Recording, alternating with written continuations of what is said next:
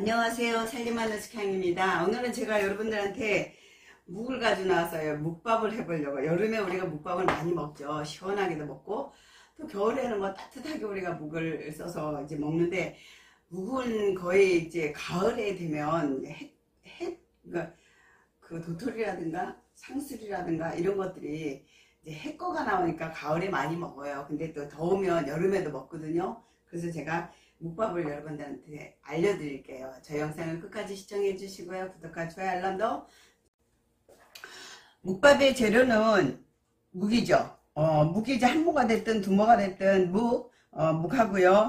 여기는 김치가 들어가세요. 좀 익은 김치. 그렇다고 묵은 김치보다는 좀 익은 김치가 맛있어요. 그 다음에 여기는 김가루거든요. 그 다음에 육수를 집에서 직접 만들 수도 있고요. 저는 이렇게 냉면 육수가 있어요. 이 육수를 사놨으면 아주 편해요. 요거 냉동실에 넣어놓으면 살 얼어요. 얼면 그걸 이렇게 약간 이렇게 부실어 가지고 넣으면 시원한 육수가 되거든요. 저는 지금 이제 얼마 안 돼가지고 좀 덜 얼었어요. 거기다가 오이하고요. 양념에는 파하고 마늘하고 파하고 마늘하고 그 다음에 고춧가루 고춧가루를 취향에 맞게 넣으시는데 저는 조금 넣었으면 좋겠습니다. 참깨하고 참깨가루하고요. 참기름하고 이렇게 들어가요. 나는 좀 약간 새콤하게 먹고 싶다 싶으면 식초를 넣으시면 됩니다. 재료는 간단해요. 만약에 이 육수가 없으면 육수를 만들어야 되잖아요. 그래서 저는 쇠고기 다시랑 그 다음에 간장을 준비했습니다. 간장과 설탕이 있어요. 이거는 육수를 만드는 재료입니다. 먼저 묵을 썰어 줄게요. 묵은요. 저기 요게 제가 지금 2인분이거든요. 만약에 묵을 샀는데 냉장고에 있다 그러면 묵이 딱딱해요 그러면 이게 어 이게 찰랑찰랑 거리지 않으면 묵이 뻣뻣해 가지고 안 좋거든요 만약에 냉장고에 있어서 얘가 뻣뻣하다 그러면 뜨거운 물에 얘를 좀 끓이세요 어, 얘를 이제 어, 끓인 다음에 얘를 식혀서 사용하시면 돼요 야 묵은 우리가 좀 이렇게 들었을 때 긴 게 낭찰낭찰한 게 좋잖아요 이렇게 묵을 썰어 주세요 묵을 시장 같은 경우는 이제 썰어서 아예 파는 경우도 있어요. 저는 이제 통으로 사왔어요. 왜냐면 언제 먹을지 몰라가지고 냉장고 넣어놓은 거를 저는 이렇게 끓였습니다. 그랬더니 이게 낭창낭창하니 아, 부드러운 묵이 됐습니다. 이렇게 해서 묵을 너무 두꺼워도 나쁘고 너무 얇게 너무 얇으면 막 이렇게 끊어져요. 묵이 너무 두껍게 썰어지면 좀 뻣뻣한 느낌이 있고요. 야, 너무 얇게 가늘게 썰면 묵, 이게 뜨다 보면 무게 떨어져요. 근데 100% 독토리 묵은요. 낭창낭창한 게 안 부러지거든요. 근데 100% 사기는 사실은 좀 마트나 시장 같은 데는 좀 힘들다고 봐요. 묵 전문점에 가면 그렇게 100% 어, 팔지만 자, 묵을 이렇게 해서 어, 썰어줍니다. 이렇게 다 썰은 묵을 먹을 분량만큼만 그릇에 담아주세요. 오이를 써주는데 오이를요 끝부분을 이렇게 먹어봐서 쓴지 안 쓴지 맛을 보세요. 쓰지 않으면 이걸 사용하시면 돼요. 가운데 씨 있죠? 가운데 씨를 좀 이렇게 빼주세요.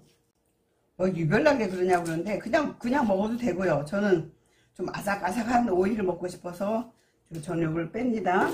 썰어서 얘를 채를 쳐주세요.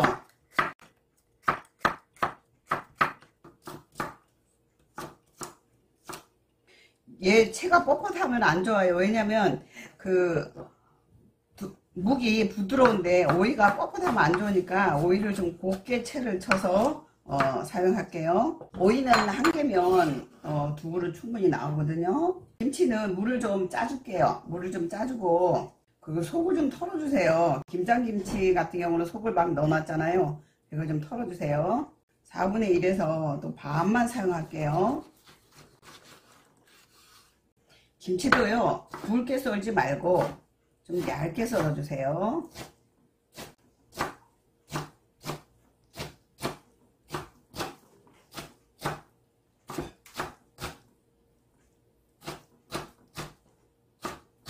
김치를 따로 양념할 필요는 없습니다. 반반 섞어서 이렇게 얹어주세요. 아, 우리는 김치를 좋아해. 그럼 더 얹으셔도 돼요. 근데 저는 어, 김치를 너무 많이 넣는 거를 추천하지 않아요. 파도 좀 이렇게 송송 썰어주세요. 쪽파가 없으면 대파도 쓰시면 되는데 대파는 흰 부분을 해서 더 종종종종 썰어주세요. 파도 얹어주시고 오이 있죠. 오이도 이렇게 자, 이렇게 해서 통깨보다는 이제 깨소금이 좋아요. 깨 가른 거. 요건 좀 듬뿍 넣어주세요. 가루 이렇게 김이 들어가고 안 들어가고 맛이 달라요. 이거 조미김이 아니고 그냥 김이에요. 조미김보다는 요게 어 그냥 일반 김이 더 맛있습니다. 좀 우리 집은 고춧가루를 좀 넣었으면 좋겠어요. 그러면 고춧가루 조금만 넣으세요. 왜냐면 김치가 있기 때문에 굳이 많이 안 넣으셔도 어, 됩니다. 아이들 있는 집은 고춧가루 넣지 말고 사용하시고 어른 어른만 있는 집은 고춧가루 조금. 이렇게 육수가 있어서 육수를 사용하는데 사용하는데 육수가 없으시면요 소고기 다시 써 있어요 100% 소고기 다시다 거기다가 간장하고 마늘하고 어 그 다음에 설탕 좀 넣고 그 다음에 식초를 넣고 싶으면 넣으셔도 되고 그건 취향이에요 정식으로 만드는 그 면 소고기 양지머리 있죠 양지랑 뭐 그다음에 어, 뼈도 넣고 푹 까가지고 그거를 곱게 음, 걸러서 그렇게 해서 그거 국물을 쓰기는 해요. 사- 살얼음이 얼었죠. 제가 준비하기 전에 약간 더 얼렸더니 이렇게 살얼음이 좀 얼었어요. 보세요. 살얼음이. 아, 얘 육수는요. 달콤하고 새콤한 맛- 맛까지 같이 있기 때문에 냉면 육수라 그냥 사용해요. 요거를 요렇게 옆에다 요렇게 넣어주세요. 시원하게 그냥 말아 먹으면 되겠죠. 참기름 좀 넣어주세요. 많이 넣지 마세요. 많이 넣으면 느끼합니다. 우리가 시원하게 먹는 밥이다. 그러면 찬밥을 쓰시고요. 이제 겨울에 온면으로 먹는 묵밥이다. 그러면 따뜻한 밥을 쓰셔야 됩니다. 저는 여름이라서 지금 밥을 찬밥을 썼습니다. 영상을 끝까지 시청해 주셔서 감사하고요. 구독과 좋아요 알람도 부탁합니다.